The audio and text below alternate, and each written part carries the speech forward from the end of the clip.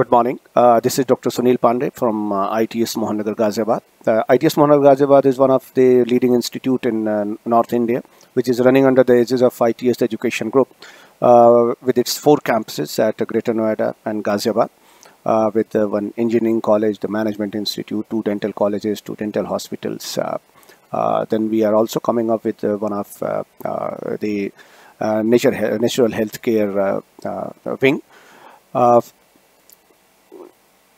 the campus uh, uh, is spread uh, over 65 acres land, all the campuses if we include, with over 10,000 students and 750 plus faculty members. This what ITS Education Group is when it comes to the migration from conventional education platform to digital uh, platform, this was a big challenge when uh, in the month of March, when uh, initially entire lockdown, entire UP, the all academic institutions were announced to be closed. And then subsequently from 22nd uh, March, the countrywide lockdown was imposed. Suddenly, uh, we were forced in a situation where everything was kept on hold. No, no campus life. Uh, there was nothing like campus infrastructure where classes could be uh, run. But then uh, uh, the we as an institute took this challenge, and though we didn't have time because suddenly institutions were closed for the next day. We didn't have that much time to train our faculty, train to staff members, train to students. But uh, thanks to all the stakeholders who extended their all support and we were able to implement all those training programs within 24 hours and academics on track. Uh, probably we were uh, uh, among the very few institutes in, in the country who, who trans um, uh, transited from um, conventional system to digital platform and we started our first class on 16th March on digital platform. Uh, this was not that much easy because uh, it required lots of uh, infrastructure support, procurement of uh, uh, online uh, communication systems.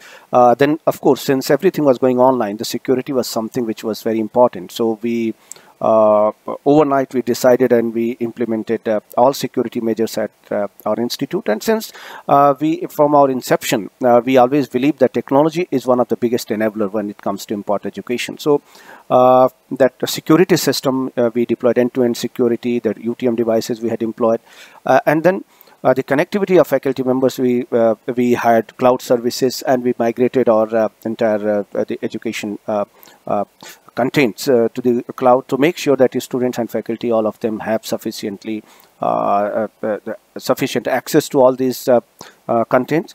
And I'm really, I feel happy in share that we could do this. and of course, we miss the in-campus life, but then when it comes to academics, we were we were able to keep things on without compromising with the quality. Uh, the other thing, the, uh, once uh, things were uh, on track uh, when it comes to class con uh, conducting the classes, the next challenge was how to conduct assessment of students because this was also required. That the feedback is required. So we we kept the system of feedback online. Which in any case, we earlier also we used to conduct this online session. Assessment was the biggest challenge, but then we introduced LMS. Uh, we started with Google uh, classes, then we explored other options also, and uh, as and when uh, required, we uh, plugged into the system by introducing new applications, new systems. And I really take pride that that those the conduct of classes, the academics, and then assessment both were incoherent and uh, very timely at early st uh, stage we could introduce these systems where uh, quizzes on the classes which were conducted uh, the class uh, tests, uh, the assessment, the assignments, all those things were uh, uh, were done something like as if we were doing in during a normal uh, course of work. So we conducted around 6,000 online classes for all our courses here at this campus. Uh, there were uh, minimum five quizzes in all the subjects. There were two class tests in all the subjects during uh, those lockdown periods. it not only helped in keeping academics on, but also kept uh, to maintain the academic rigor what otherwise would have been really difficult uh, uh, in such a time. the next thing was when we were we are in campus, we believe we have always believed that uh, only classroom teaching does not help in overall development of students. So we have always been trying to create certain platforms where students have opportunity to interact with the researchers, to the industry people, to the policymakers, and those who have been driving the industry because their vision, their thought process and opportunity to interact with them not only helps students in increasing their confidence, but also uh, it broadens their horizon of understanding and things and taking things in right perspective.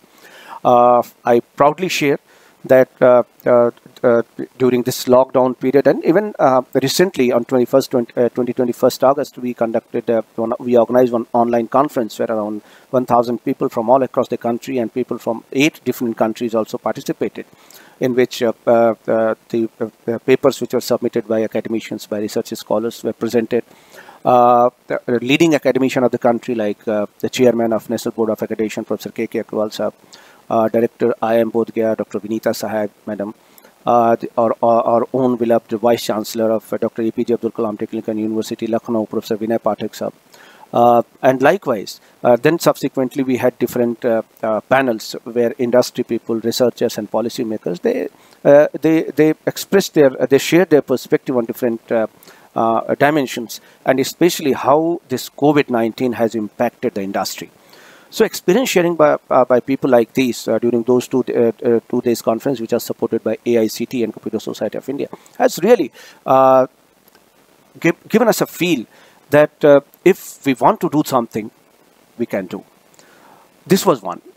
we conducted student development programs, we conducted faculty development programs, we conducted entrepreneurship summit, we conducted digital summit, and people from all across the world in India, we covered in 31 states.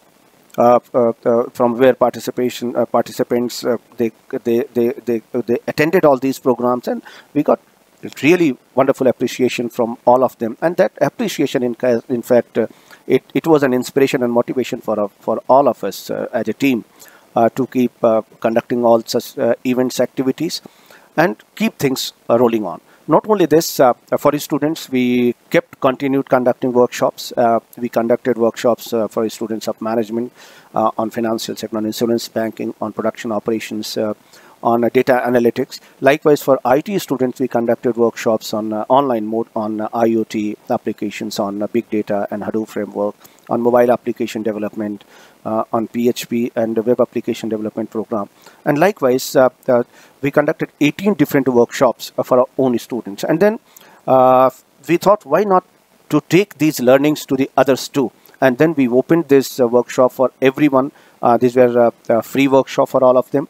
A rigorous workshop we conducted and in each of the workshop 500 to 750 students from different institutes all across the country uh, they participated in each workshop uh, which itself speaks uh, the kind of reach uh, we could get, the kind of uh, uh, support, the kind of appreciation we got. There were many students, those who were repeatedly attending all the workshops. Then there were certain workshop like workshop on Python, workshop on R programming, where students requested repeat workshop. We conducted all those repeat workshops. Uh, not only this, we have always, we have very strong alumni relationship, which was uh, really becoming difficult because we have a practice of uh, inviting two to three alumni every month for all the courses. Uh, but uh, uh, thanks to technology, we kept doing all this. our alumni, those who are working all across the world, from United States, from Australia, from New Zealand, from France, from Canada, uh, from UK.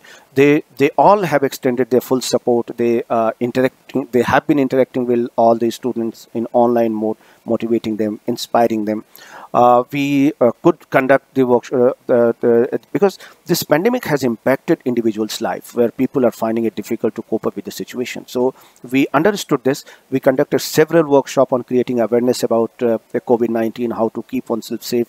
We involve our faculty members, our students, those who have kept things on uh, not only for their academics but also they they they contributed in spreading this awareness among the society around the around, in and around uh, the, the vicinity so uh, in all, if I say that this COVID-19 uh, situation had forced us in a situation which was unprecedented, but with the help of technology, with the help of support of entire team, of faculty, student, staff, everyone, we kept things on.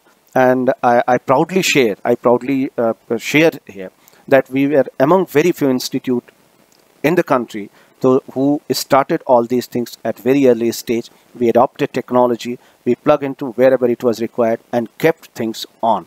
And the the presence of around 90%, 85 to 90% students in all these sessions uh, itself speaks how to, how these uh, initiatives successful. So I think as an institute, as an individual, uh, we have tried to make uh, all the efforts to keep things uh, on and it has uh, uh, yielded result too. I'm sure that these things will help others to understand what we have been doing and will also motivate others that things can be taken off, things can be done if we want whatever we're doing. This such situations cannot stop us. Uh, thank you so much uh, from ITS Monar Ghaziabad.